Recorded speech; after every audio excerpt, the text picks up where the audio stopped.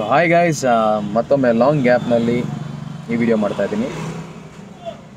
ತುಂಬ ದಿನಗಳಾಗೋಯ್ತು ನನ್ನ ವಿಡಿಯೋನ ಅಪ್ಲೋಡ್ ಮಾಡಿ ಸೊ ಇವತ್ತು ಒಂದು ಚಿಕ್ಕ ಅಪ್ಡೇಟು ಸೊ ನಾನೀಗ ಮೈಸೂರಿನ ಸೆಂಟರ್ ಸಿಟಿ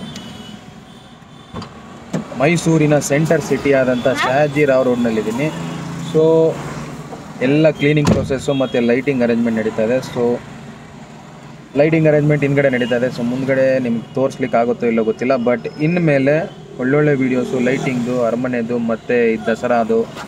ದಸರಾ ಮೆರವಣಿಗೆ ಮಾಡ್ತಾ ಎಲ್ಲ ಗೊತ್ತಿರೋ ವಿಷಯ ಬಟ್ ಹೊಸ ವೀಡಿಯೋಸ್ ಬರುತ್ತೆ. ವೈಟ್